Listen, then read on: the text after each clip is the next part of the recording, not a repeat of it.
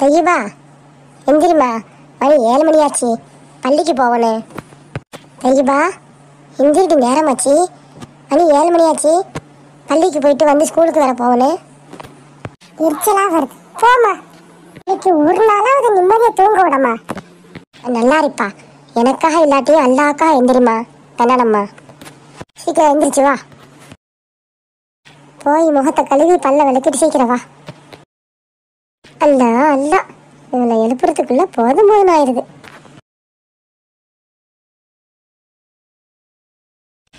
என்னோட தாய் பல்ல விளக்கிட்டீங்களா இந்த பாலை குடிங்க. அம்மா உன்கிட்ட நான் பால் கேட்டனா? எனக்கு அறவே வேணாம். எனக்கு சும்மா விட்டா போதும். நீ என்ன இப்பா? விரும்புறதோட போறா பள்ளிக்கு? ஆமா எனக்கு பால் வேணாம் ஒண்ணு வேணாம். என்னை சும்மா விட்டா போதும். ஏன்டி இப்படி இருக்கிறா? ஒரு அரை கிளாஸ் ஆச்சு குடி நல்லா இருப்பா. ஏமா என்ன இம்சை பண்றா? வானாண்டா விடுவேன் உன்ன மாதிரி ஒரு புள்ள எந்த உலகத்திலயும் இல்லடி. எனக்குன்னு வந்து பிறந்திய. பாலு தான் வானான்னு சொல்லிட்டா. இட்லி சுடுற அதையாவது சாப்பிட்டுட்டு போ. ஏமா சொன்ன கேட்க மாட்டியா? எதுவுமே எனக்கு வானா. ஒண்ணுமே வானா எனக்கு. எதுக்கு இப்படி படுத்துறா நீ நல்லா இருப்பா. நான் சொல்றதை கேளு. நீ பள்ளி விட்டு வந்த உடனே எட்டரை மணிக்கு ஸ்கூலுக்கு உடனே கிளம்பி போயிடுவா அப்ப சாப்பிட டைம் கிடைக்காது. காலை பட்டுன இடுப்பு ஒடிச்சிரும். சத்து குறைஞ்சு போயிடும் உடல் வேக்கால வந்துடும் இப்படி பல பிரச்சனைக்கு ஆளாயிரணும். காலை சாப்பாடு ராஜா மாதிரி சாப்பிடணுமா? இரவு சாப்பாடு பிச்சைக்கார மாதிரி சாப்பிடணுமா? அப்படின்ட்டு பெரியவங்களாம் சொல்லுவாங்க. ஏமா வேண்டாண்டா உன் விட மாட்டியா? எதுக்கு எனக்கு டென்ஷன் படுத்துறா எதுக்குதான் நீ இப்படி போட்டு பாடுபடுத்துறே தெரியல. எப்ப பார்த்தாலும் சாப்பிடு சாப்பிடு சாப்பிடுன்னு உசுர எடுக்கிறியே. சரி நான் பள்ளிக்கு கிளம்புறேன். இவ்வளோ கெஞ்சுற? கடுகளும் இறக்கமில்லையே சும்மாவா சொல்லுவா பித்த மன பித்து புள்ள மன கல்லுண்டு. அம்மா பள்ளிக்கு போறேன். போயிட்டு வரேன். கிளம்பிட்டியா? போயிட்டு வா. தவக்கல் தலல்லா ஃபியமா நில்லா காலங்காட்டால எந்திரிச்சு பச்சை தண்ணி குடிக்காம ஒன்றும் சாப்பிடாம வெட்டா திருங்குறலாம் போறாள. சரியா வராது. எல்லாத்தையும் கொண்டுட்டு போக வேண்டியதான் பள்ளிக்கு. எப்படியாவது போய் இந்த சாப்பாடு அவளுக்கு போய் கொடுத்துடணும்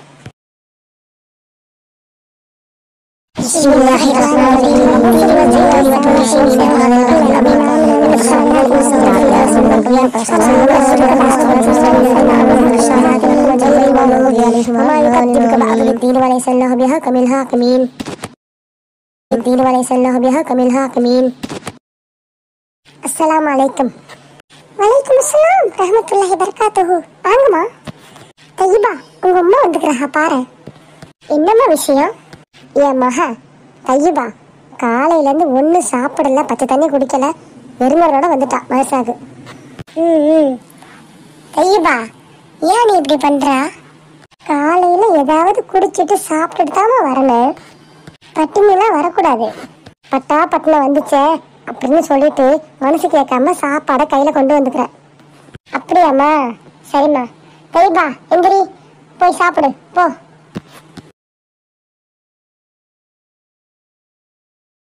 எதுக்குமா வந்து என் மானத்தை வாங்குறா? எத்தனை மட்டும் சொன்னாலும் உனக்கு புரியாதா?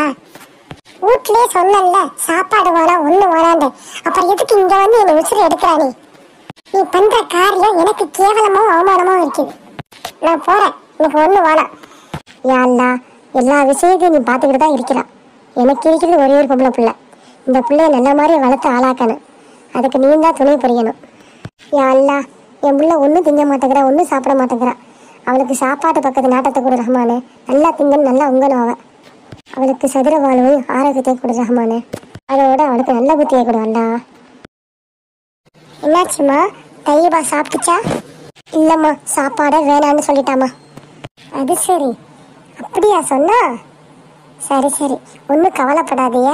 நான் பார்த்துக்கிறேன் எல்லாம் சரியா வந்துடும் சரிம்மா நல்லது. நான் கிளம்புறேன். போயிட்டு வாங்க.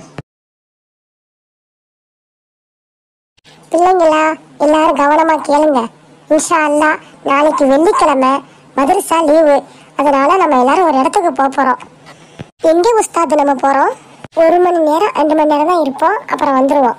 நீங்க எல்லாரும் பிஸ்கெட்டு பழங்கள் அப்புறம் தீன் பண்டம் எதுவா இருந்தாலும் கொண்டுகிட்டு வாங்க.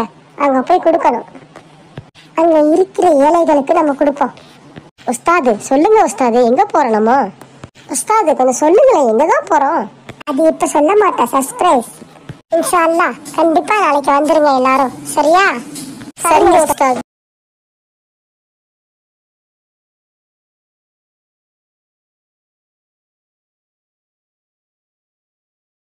என்ன?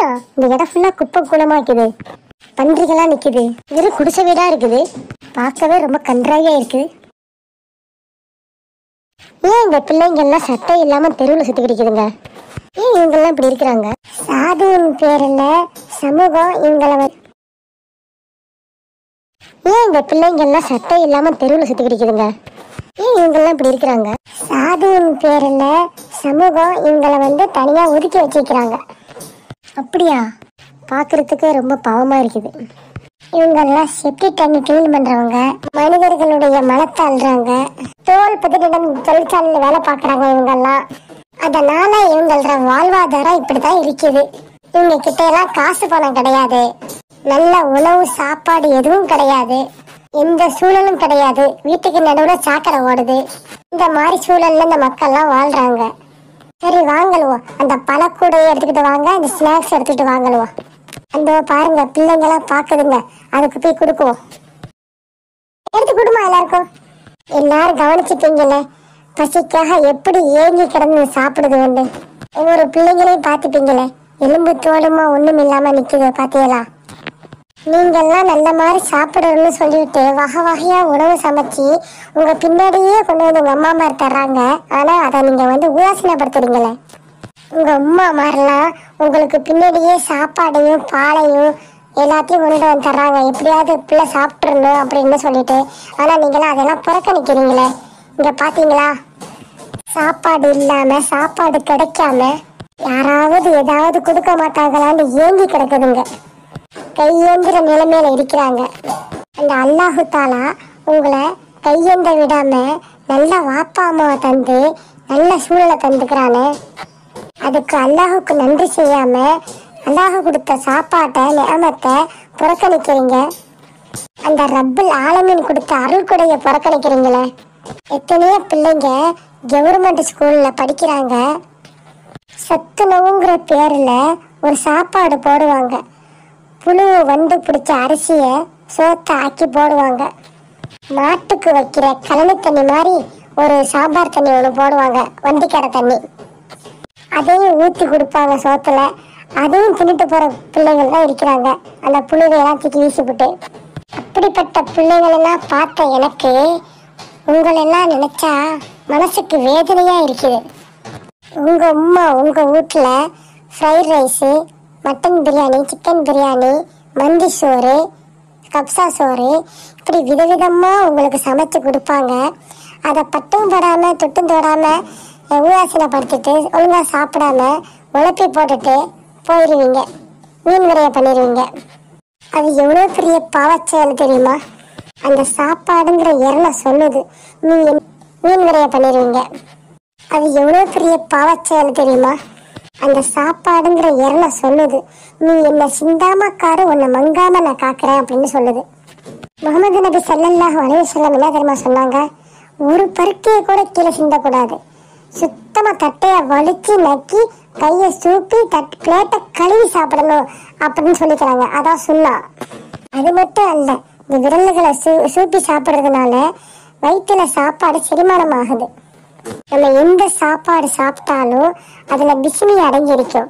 அல்லாவுடைய அருள் கொடை அடங்கியிருக்கும்.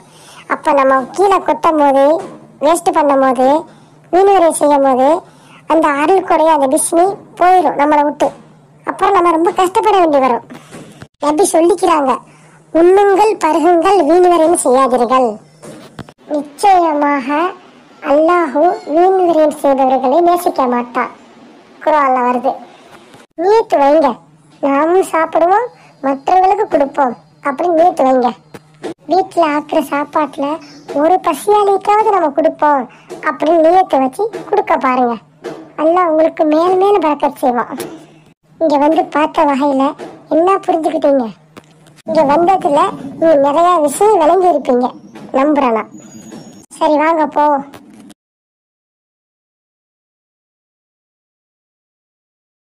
அம்மா வந்துட்டியாமா அம்மா என்ன மன்னிச்சிருமா? அம்மா இனி சாப்பாட்டை நான் உதாசீனப்படுத்த மாட்டேன்.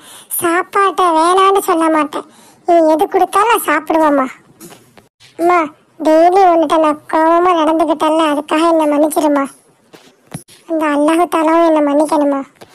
இப்போவாவது நீ புரிஞ்சுக்கிட்டியே அது வரை சந்தோஷம். நீ நல்லது புள்ளது எல்லாம் சாப்பிடணும். உடல் ஆரோக்கியமா இருக்கணும். அதாம்மா என்னோட ஆசை. சரிம்மா என்னை மன்னிச்சிருமா மன்னிச்சிட்டேன் மன்னிச்சிட்டேன்.